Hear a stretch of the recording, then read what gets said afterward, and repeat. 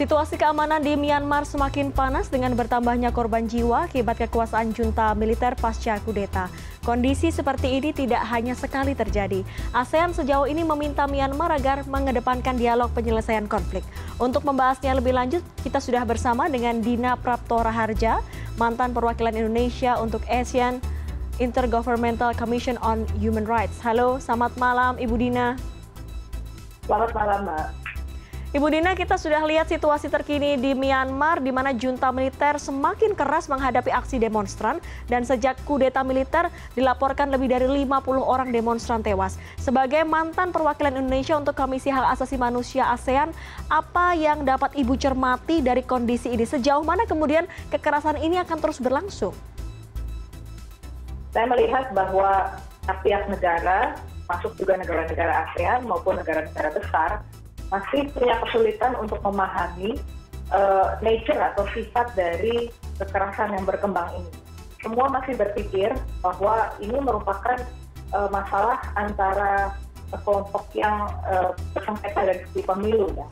Padahal kalau dipikir-pikir secara lebih lengkap, satu hal yang harus menjadi fokus di mana di mana pun tingkat internasional melakukan pembunuhan terhadap kelompok masyarakat sipil, apalagi oleh uh, dari penguasa negara pada warga negaranya itu adalah suatu kejahatan.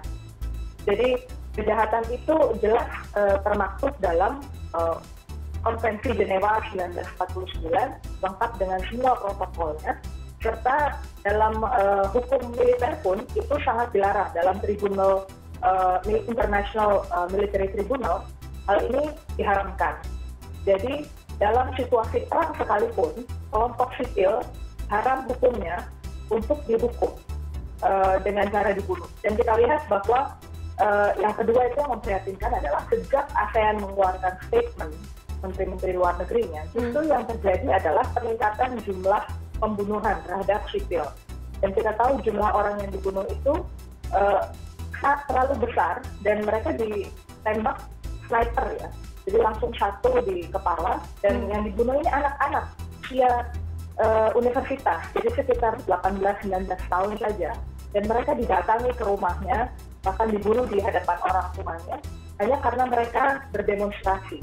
Jadi ini sangat beda dengan masalah konflik uh, senjata yang uh, mungkin pemerintahnya bolehlah sama-sama mengeluarkan senjata. Itu pun terhadap masyarakatnya sendiri itu haram sekali hukumnya. Jadi sebenarnya sikap negara-negara dunia sekarang masih terlalu lembek terhadap militer Myanmar.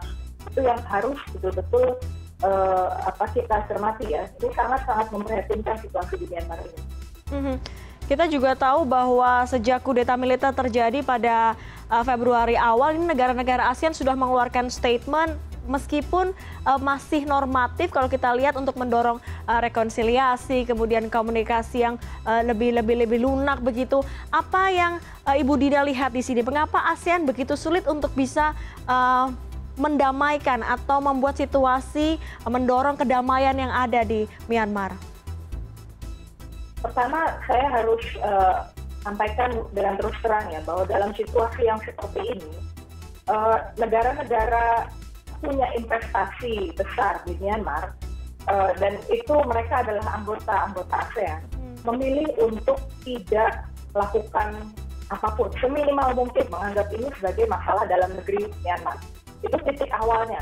Jadi ketika Indonesia menawarkan uh, posisi untuk mulai bersikap itu yang dihadapi. Itu masalah pertama. Masalah yang kedua Indonesia pun melihat bahwa masalah seperti ini bisa diselesaikan dengan cara mendudukkan semua pihak hmm. dan menyuarakan bahwa semua pihak harus menahan diri. Ini juga keliru sebenarnya dari posisi kita. Karena uh, sipil sekedar berdemonstrasi dan mereka berdemonstrasi karena mereka sudah ikut pemilu dan hasilnya dikhianati oleh militer. Semata-mata karena militer mengatakan bahwa mereka harus tetap berkuasa.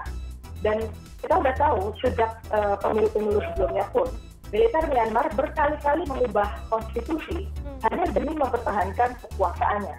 Jadi kalau Indonesia menyuarakan dan sepakat dengan negara yang lain yang juga uh, ingin lembut saja terhadap militer Myanmar, maka itu satu jalan yang keliru. Karena tadi kembali ke poin yang tadi, ini bukan uh, sengketa pemilu biasa yang kemudian membuat semua orang bisa duduk bersama di satu meja. Dan bukan forum menlu lah. Lagi saya tegaskan ini bukan uh, tempatnya untuk menteri luar negeri untuk bicara soal ini. Uh, apalagi kalau yang kita temui adalah menteri luar negeri yang ditunjuk oleh junta militer. Itu juga suatu kesalahan uh, tersendiri di situ. Hmm, meskipun secara historis uh, sedikit mirip ya Indonesia dengan Myanmar pernah dipimpin oleh seorang jenderal uh, tentara begitu? Beda, karena Indonesia waktu itu uh, transisi menuju demokrasi. Jadi dan kita sudah melalui pemilu dan hasil pemilu uh, berjalan diterapkan. Karena di Myanmar ini adalah gerakan demonstrasi uh, demokrasi yang berhadapan langsung dengan militer yang menumpas mereka, membunuh semua saja yang berusaha untuk uh, mengatakan bahwa yang menang yang menang adalah militer untuk NLD. Totally different with Indonesia. Mhm. Artinya dengan kondisi seperti ini memang kita tahu bahwa negara-negara uh, ASEAN termasuk Indonesia menahan diri dalam mengeluarkan statement. Tapi yang idealnya harus dilakukan menurut Ibu Dina apa? Yang konkret begitu? Jadi yang uh, pertama saya mengusulkan bahwa uh, pertama militer itu harus di out ya dihilangkan semua pengakuan uh, internasionalnya jadi uh, kegiatan mereka untuk mewakili Myanmar, baik sebagai diplomat maupun pemimpin negara, harusnya tidak diakui lagi oleh negara-negara uh, di dunia, apalagi di ASEAN. Karena jelas yang dilakukan itu merupakan kejahatan terhadap kemanusiaan dan terhadap warga negaranya. Uh, yang kedua, uh, senjata seharusnya dipantau secara internasional pergerakannya dan dihentikan pasokannya ke Myanmar. Itu gerakan yang paling uh, sensitif uh, menurut saya yang ketiga di tingkat internasional seperti UN Security Council seharusnya bisa lebih tegas uh, dengan segera melakukan uh, apa hukuman dan mengatakan penghentian uh, keras kegiatan militer di Myanmar. Jadi uh, kehadiran uh, pihak internasional di sana adalah untuk menghentikan kegiatan militer di Myanmar. Mhm. Ini Sekjen PBB Antonio Guterres mengecam kudeta militer tersebut. Meski demikian, Dewan Keamanan PBB gagal untuk menyepakati pernyataan bersama karena Tiongkok dan Rusia menolak mendukung pernyataan yang mengutuk aksi kudeta militer tersebut. Sementara yang terbaru nih, Ibu Dina, militer Myanmar dilaporkan menyatakan siap menghadapi sanksi dan isolasi. Bagaimana Ibu Dina melihat situasi ini? Apakah karena Myanmar merasa mendapatkan dukungan dari Tiongkok dan Rusia? Penelusuran saya ya di lapangan itu menunjukkan bahwa maaf. Karena dari penelusuran saya di lapangan memang pihak militer di Myanmar itu sebenarnya sudah siap untuk melakukan uh, kudeta sejak mungkin tiga atau empat tahun lalu sejak kasus Rohingya itu meletus ya. Jadi uh, apa negara-negara di sekitar uh, ASEAN khususnya yang paling dituakan oleh Myanmar adalah Thailand. Jadi militer Thailand itu uh, adalah sahabat dekat dari uh, dari uh, Myanmar, militer Myanmar. Jadi ibaratnya pintu belakang, Thailand itu pintu belakang bagi uh, pemerintah. Kalau kerjasama dengan China itu tidak berjalan dengan optimal, dia masih akan minta tolong pada uh, Thailand. Jadi uh, kalau kita perhatikan di sini, kritis sekali kawasan-kawasan uh, perbatasan. Kalau sampai di tingkat internasional terjadi sanksi, tetapi mereka tidak memperhatikan nasib para kaum sipil dan tetap biarkan militer memegang senjata, maka mereka bisa dibunuh dengan lebih keji sebenarnya. Karena seperti orang sudah siap dibunuh ya, lalu mm-hmm. pintu-pintunya semua ini kita sebenarnya melakukan yang lebih lagi kepada masyarakat di Myanmar. Mm. Kalau pembunuhan itu begitu mengerikan oleh junta militer ini, masalahnya kondisi darurat ini diberlakukan oleh junta militer. Sebenarnya jika Anda mencermati perkembangan yang terjadi sejauh ini, Bagaimana Anda melihat yang terjadi di Myanmar ini apakah bisa berdampak pada keamanan atau keamanan kawasan di Asia Tenggara?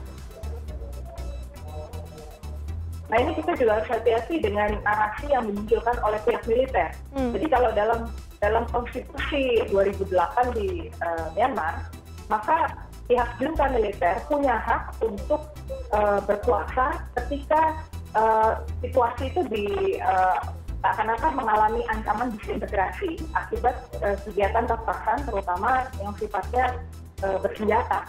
Tapi Anda bisa lihat kan, waktu awal pertama 1 Februari itu dikumandangkan, sebenarnya tidak ada yang pegang senjata selain militer. Dan sampai hari ini pun, yang pegang senjata itu hanya militer. Hmm. Jadi siapa yang mau melakukan uh, disintegrasi tanpa senjata, ini yang kita harus clear betul. Uh, dan yang melakukan pembunuhan dengan uh, pada warga negaranya sendiri itu kan militernya. Dan selama bertahun-tahun uh, partai yang berkuasa di sana itu partai yang harusnya bisa berkuasa, partai NLD, itu selalu menang dalam pemilu dan konstitusinya diubah terus supaya hal itu tidak terjadi. Jadi uh, narasi dari militer ini harus kita waspadai betul hmm. karena memang cara militer di sana untuk tetap bertahan adalah dengan memastikan bahwa stabilitas itu tidak terjadi asalkan militer yang berkuasa itu yang mau dia suarakan. Baik, baik.